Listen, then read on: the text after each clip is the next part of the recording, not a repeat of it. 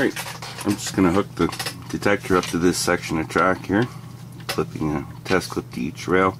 This track is already fed and is known to have no short.